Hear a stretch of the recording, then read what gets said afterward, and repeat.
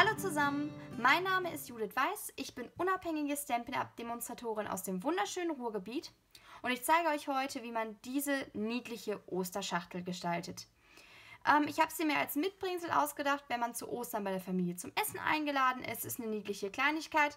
Wenn man sie aufmacht, habe ich zwei Maikäferchen reingetan, die einen, seht ihr das? Ja, die einen lustig angucken. Und wie ich die gestaltet habe, das zeige ich euch jetzt. Ich habe die Box aus diesen Pizzaschachteln gemacht, die wir, ich glaube, seit dem letzten Herbst-Winter-Katalog im Programm haben. Knister, knister. Ihr bekommt die als Bögen im Achterpack und die sind komplett schon vorgestanzt und vorgefalzt. Das heißt, das Einzige, was ihr jetzt noch machen müsst, ist diese Pizzabox zusammenzusetzen.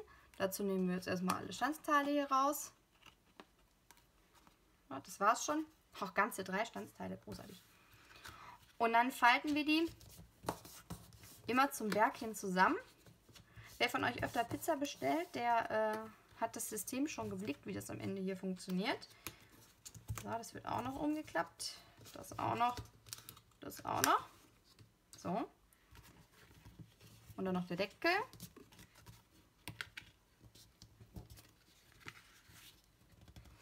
Lasche zum Aufziehen. So. Zack und so. Ist gleich schon fertig. Ihr steckt diese Seitenlaschen hier in das vorgefertigte Loch. Dann klappt ihr es um und könnt sie unten, klackt, da war es schon, und könnt es hier unten wieder einklacken.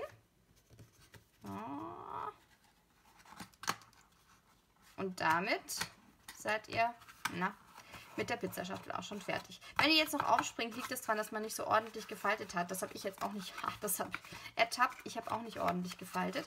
Aber wenn man dann noch ein bisschen Nachdruck gibt,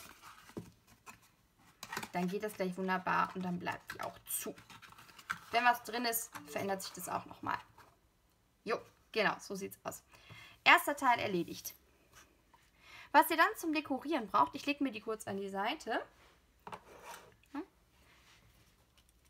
Ist einmal ein Stück Farbkarton in den Maßen 3 ein Viertel mal 3 ein Viertel Inch.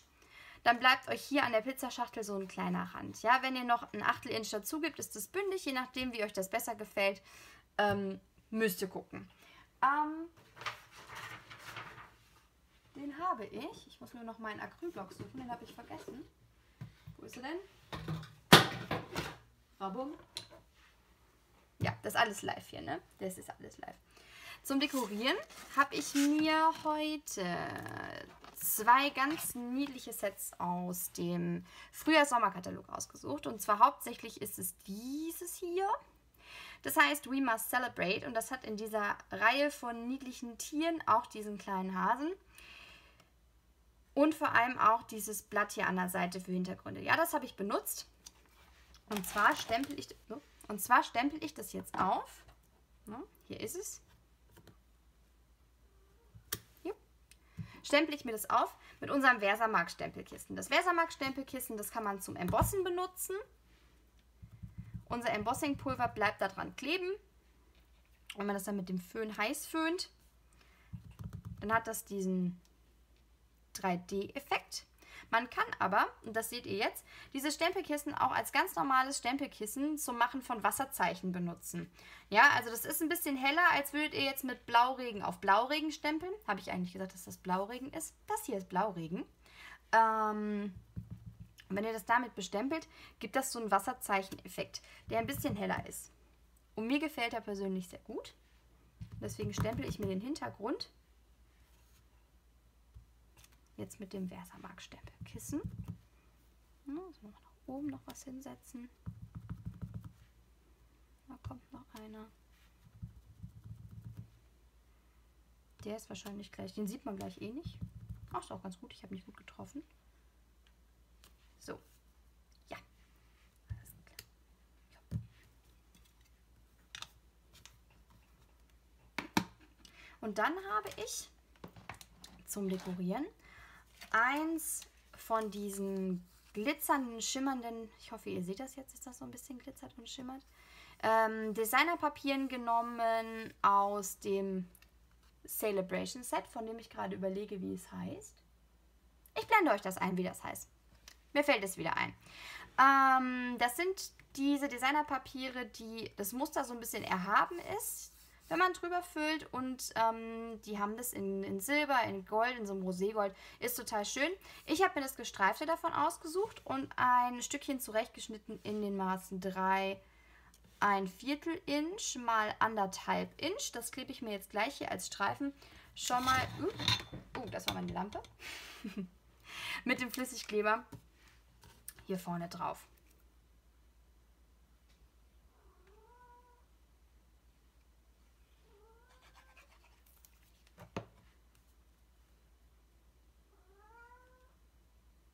Könnt ihr das hören? Meine Katze meckert gerade mit mir, warum ich mich jetzt. Warum? Warum bastelst du jetzt?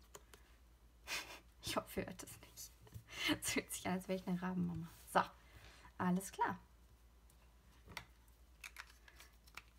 Dann ist jetzt auch schon der Zeitpunkt gekommen, ähm, wo ich den Hintergrund schon mal auf diese Pizzaschachtel aufbringe. Der Grund ist ganz einfach, wenn ich jetzt hier gleich mit diesen 3D-Effekten arbeite, dann ist es schwieriger, das festzudrücken, als wenn ich einfach nur die glatte Fläche andrücken muss. Deswegen mache ich das schon mal jetzt.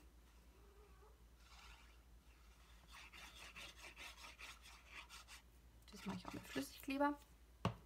Okay. Oh, das wäre oh, wär fast schief gegangen. und klebt es einfach hier fest. Die Oberfläche von diesen Pizzaschachteln, falls ihr sie noch nicht selber zu Hause habt, ist ganz, ganz glatt. Aber nicht so wie unser Flüsterweiß, sondern so ein bisschen... Naja, dass es besser halt drauf klebt. Ne? Wie soll man das sonst beschreiben? Also die haben eine tolle Oberfläche, diese Schachteln. Wenn ihr sie noch nicht bestellt habt, probiert es einfach mal aus. Ich finde die ganz toll. Deswegen mache ich heute was damit. So. Ähm schon die halbe Miete. Als nächstes gehen wir an die Dekoration. Und dafür habe ich ja gerade schon euch gezeigt, nehme ich mir diesen Tierstempel na, aus dem Set We Must Celebrate und möchte jetzt nur den Hasen haben. Den stempel ich mir auf ein Reststück in Flüsterweiß. Das mache ich so mit unserem Memento-Stempelkissen. Und zwar deshalb, weil ich das gleich mit dem Mischstift ausmalen möchte. Jetzt will ich nur diesen Hasen erwischen. Ihr seht das schon, ich habe den vorhin nicht sauber gemacht, weil ich mir dachte, naja gut, das machst du jetzt eh nochmal. Ich mache es jetzt nicht so wie sonst, dass ich den Stempel auf das Stempelkissen drücke, sondern ich drehe das Stempelkissen um. Ihr seht vielleicht, jetzt drehe ich mal kurz meinen Kopf. Und färbe mir den Stempel von oben ein. Es ist nicht schlimm, wenn ich ein bisschen den Fuß oder die Hand von dem Bären erwische, der halt daneben steht. Die Tiere sind recht dicht nebeneinander. Das ist nicht schlimm, ich schneide mir den gleich eh aus. Alles klar. Ja, jetzt klebt ihr hier so zur Hälfte auf meinem Block. Ist nicht schlimm, den Teil hier brauche ich eh nicht. Und jetzt bringe ich mir den auf mein Stück Flüsterweiß auf. Zack. Oh, da ist doch mehr von dem Bären mitgekommen, als ich dachte. Ist nicht schlimm, wir schneiden es gleich eh weg. Und dann haben wir erstmal nur den Hasen auf dem Papier den, wo ist es? Den koloriere ich jetzt mit dem Stempelkissen in Schiefergrau. Drück mal einmal drauf. Vorhin war nicht mehr so viel da. Jupp. Und mit unserem Mischstift nehme die dicke Spitze. Der sieht schon so ein bisschen mitgenommen aus, aber der gibt keine Farbe ab. So, dann nehme ich mir hier ein bisschen Farbe auf und fange hier am Bauch an, den Kolo zu kolorieren. Ne? Es müssen nicht immer die Stamping Blends sein, Leute. Es geht auch damit. Habe ich nicht gesagt. So. Und während ich den weiter bemale, lasse ich euch, wobei es geht eigentlich schnell. Ach, ich brauche euch die Musik nicht laufen lassen. Das geht relativ schnell hier.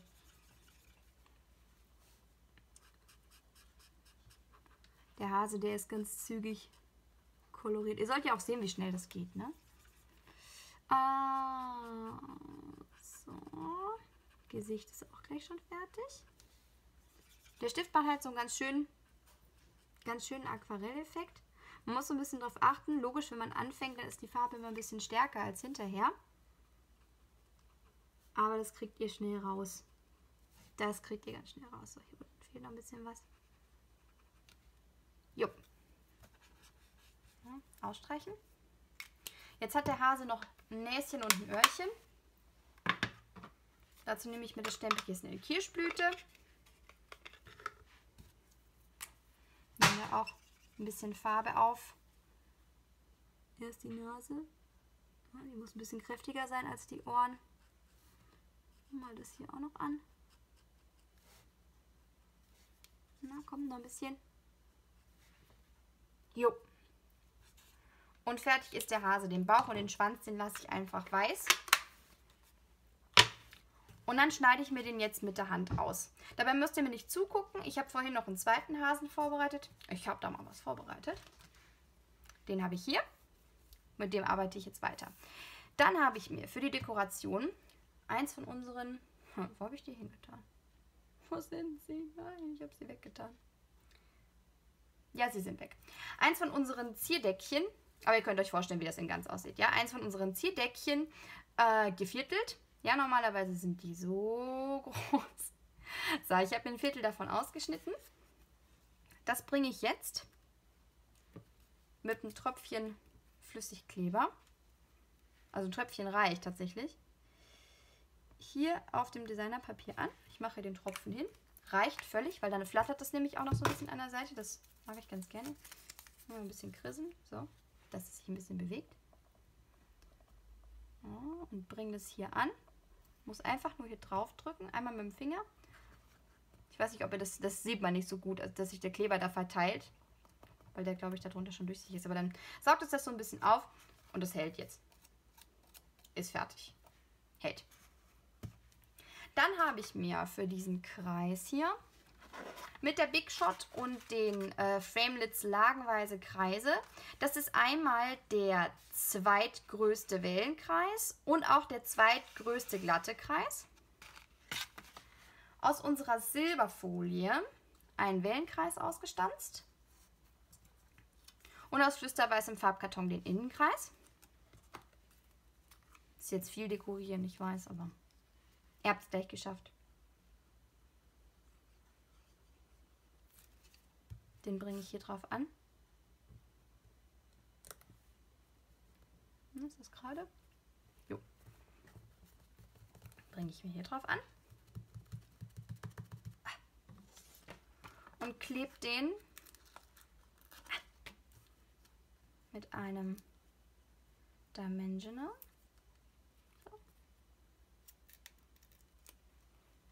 Hier oben drauf fest.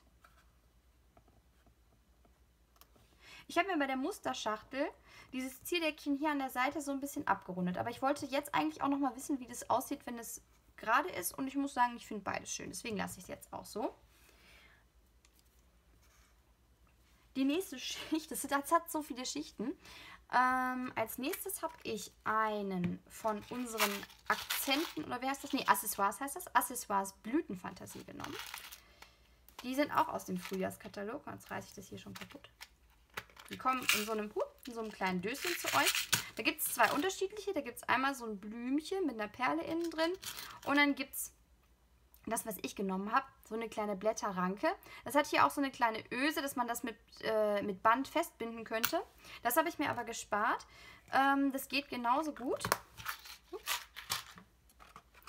Wenn ihr einen Glue nehmt,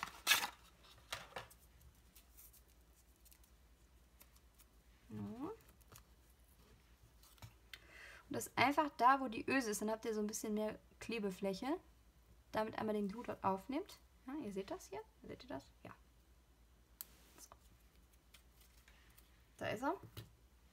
Sogar einen Faden gezogen. Was ist denn hier los? So.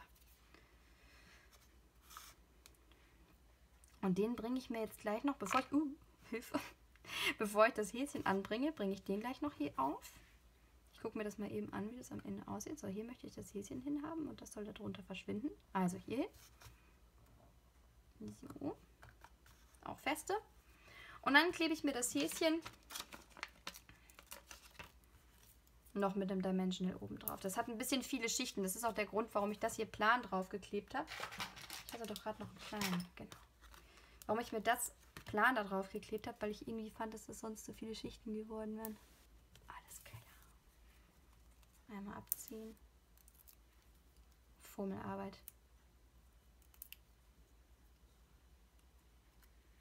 So. kommt das Häschen da drüber. Dann verschwindet auch dieser Glue dort. Den sieht man hinterher dann nicht mehr. Ja.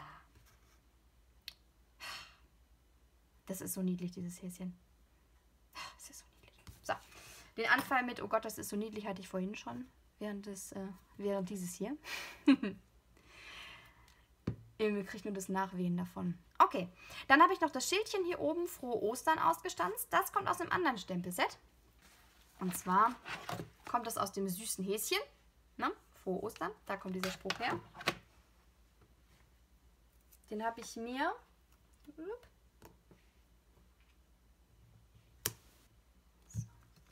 auf ein Reststück gestempelt in Flüsterweiß.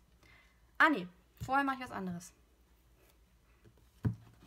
Und zwar hat dieses Schildchen diese kleine Umrandung. Und die kleine Umrandung, die habe ich euch schon mal gezeigt. Die kommt aus Bannerweise Grüße. Das ist diese hier. Die finde ich immer... Habe ich sie denn? Ach, ich habe sie doch schon rausgeholt. Die finde ich immer ganz nett, wenn ich dieses Schildchen gleich ausstanze. Das mache ich noch vorher. Oh, das passt nicht. Das passt nicht. Nehmen wir den. So. Dazu habe ich nochmal mein Stempelkissen in Schiefergrau. Das ist alles sehr ton in Toni, aber ich mag das persönlich. Ich finde auch die Verpackung wirkt durch das Schiefergrau echt edel. So. Da kommt einmal die Umrandung hier drauf. Und dann hole ich mir den Spruch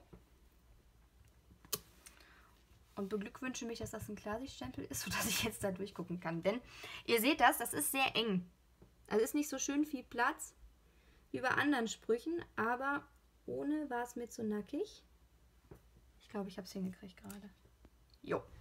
Äh, ohne Umrandung war mir das irgendwie zu nackig. Ich weiß auch nicht. Ihr könnt es auch weglassen, wenn ihr mögt. Mir gefiel es so besser. So. Und dann nehme ich mir die Stanze klassisches Etikett und stanze das einmal aus. Das frohe Ostern ist das gerade. Ja. da kommt schon. Zack. Frohe Ostern. Frohe Ostern bringe ich jetzt noch äh, mit zwei Mini-Dimensionals an. Einmal auf der einen Seite, einmal auf der anderen Seite.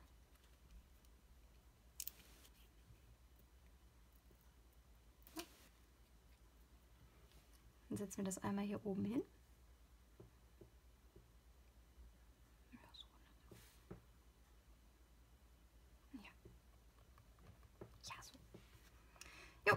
Und dann bin ich mit der Außendekoration auch schon fertig.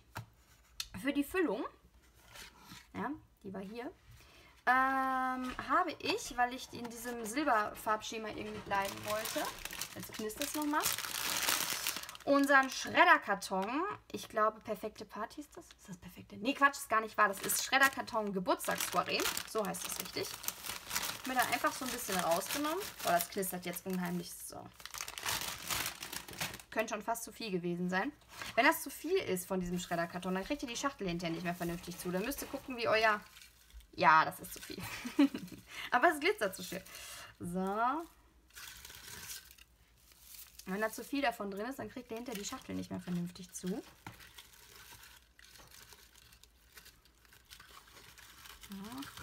Und dieser silberne lässt sich auch ein bisschen weniger gut anpassen als der Schredderkarton in... Ähm, na komm. Äh. In weiß oder in dem... In dem Himbeerrot. Ähm, und wer nicht so der Fan von diesen Marienkäfern ist, irgendwo habe ich den noch,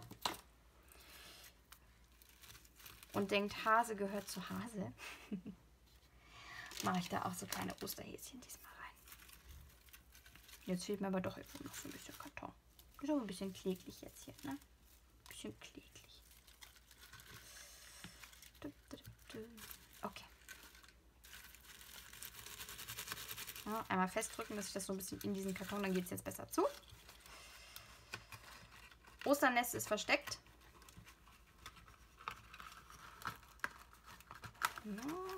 Toll. Das ist der Vorführeffekt, meine Lieben. Das ist der Vorführeffekt. Jetzt bleibt doch da drin, Mensch. Jetzt bleibt doch da drin. Alles klar. Jetzt geht's. Jetzt guckt vorne noch was raus. Das reiße ich mir jetzt einfach ab. Das sehe ich jetzt nicht mehr. Das nochmal aufzumachen. Und wenn es jetzt noch nicht so hundertprozentig schließt, schütteln hilft. Dann rutscht sich das manchmal so ein bisschen besser zurecht und dann bleibt es auch zu. So, einmal noch aufräumen. Und das war's mit meinem Projekt für Ostern. Ich wünsche euch schöne Feiertage und dass ihr vielleicht auch ein bisschen Zeit zum Basteln dazwischen bekommt. Und sagt bis zum nächsten Mal. Macht's gut!